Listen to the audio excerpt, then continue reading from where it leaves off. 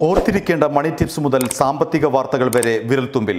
ഇപ്പോൾ തന്നെ സബ്സ്ക്രൈബ് ചെയ്യൂ ഫിനാൻഷ്യൽ വ്യൂ മാർച്ച് പാദത്തിലെ സാമ്പത്തിക കണക്കുകൾ പുറത്തുവിട്ട് ഇന്ത്യയിലെ പ്രമുഖ ബജറ്റ് എയർലൈൻസ് ഇൻഡിഗോ. ജനുവരി മാർച്ച് കാലത്ത് ആയിരത്തി ഒരുന്നൂറ്റി നാൽപ്പത്തിയേഴ് കോടി രൂപയുടെ നഷ്ടമാണ് കമ്പനിക്ക് സംഭവിച്ചത്. കൃത്യം ഒരു വർഷം മുൻപും എണ്ണൂറ്റി എഴുപത് പോയിന്റ് എട്ട് കോടി രൂപയുടെ നഷ്ടം ഇൻഡിഗോ നേരിട്ടിരുന്നു. ഭീമമായ നഷ്ടത്തിനു പുറമെ പ്രവർത്തനങ്ങളിൽ നിന്നുള്ള വരുമാനത്തിലും ഇൻഡിഗോയ്ക്ക് കാര്യമായ കുറവ് സംഭവിച്ചിട്ടുണ്ട്. രണ്ടായിരത്തി ഇരുപത് മാർച്ച് പാദത്തിൽ എണ്ണായിരത്തി ഇരുന്നൂറ്റി തൊണ്ണൂറ്റി ഒൻപത് കോടി രൂപയുണ്ടായിരുന്ന പ്രവർത്തന വരുമാനം ആറായിരത്തി ഇരുന്നൂറ്റി ഇരുപത്തിരണ്ട് കോടി രൂപയിലേക്ക് ഇക്കുറി ചുരുങ്ങി ഇടിവ് ഇരുപത്തിയഞ്ച് ശതമാനം. റെഗുലേറ്ററി ഫയലിംഗിലാണ് ഇന്റർഗ്ലോബ് ഏവിയേഷൻ ലിമിറ്റഡ് മാർച്ചിലെ ദാരുണാവസ്ഥ വെളിപ്പെടുത്തിയത്. കോവിഡിനെ തുടർന്ന് ഈ വർഷം ദുരിതപൂർണമാണ്.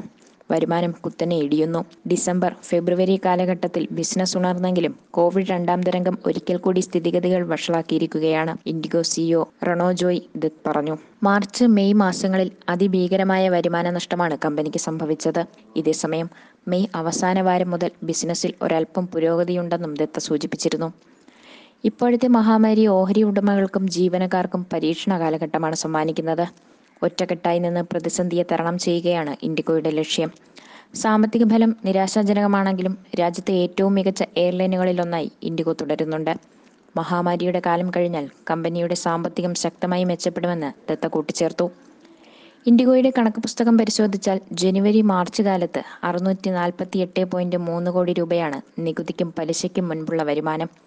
മാർജിനാകട്ടെ പത്ത് പോയിന്റ് നാല് ശതമാനവും. കൃത്യം ഒരു വർഷം മുമ്പ് ഒരു ശതമാനം മാർജിനുമായി എൺപത്തിയാറ് പോയിന്റ് ഏഴ് കോടി രൂപയായിരുന്നു ഇത്.